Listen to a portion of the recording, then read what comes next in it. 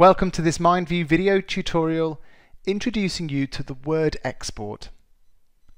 In this example we've created a mind map of an essay about the Marvel comic characters.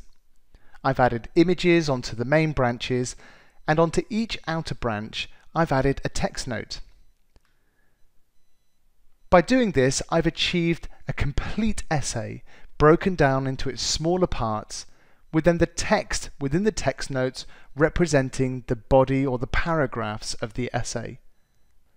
Furthermore, I've even used the citation tool of MindView to start creating my list of sources and my in-text citation. The magic of MindView is the ability to convert your mind map and all of your ideas into any Office document at a click of a button. By selecting the Word export and the Custom Word export, you can choose from a range of different templates built into the software, including academic styles which you'll find at the top of the list. APA, Harvard, MLA, Chicago, etc. Underneath the General tab, you can customize exactly what you'd like to bring across into the Word document. For example, I'd like to include a title page, as well as include a bibliography using the sources from the citation tool of MindView. You can learn more about the citation tool within other video tutorials, including how to use the citation source language to search for over 9,500 different citation and bibliography styles.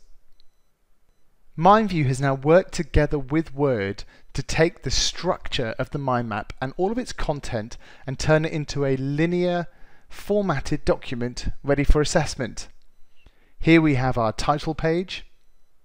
Scroll down a bit further and I've left the image of the mind map at the top of the Word document. This is a great way of transitioning between MindView and the Word document.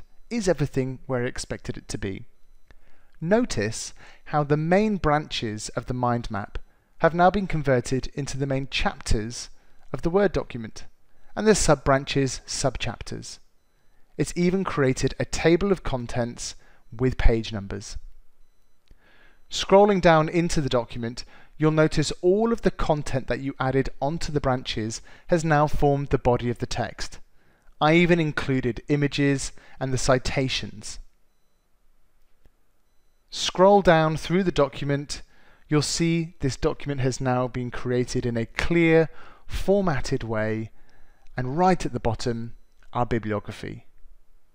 MindView is going to help speed up the process of generating ideas, building essay-style documents in a mind map, and then converting it to Word without having to replicate any information from scratch.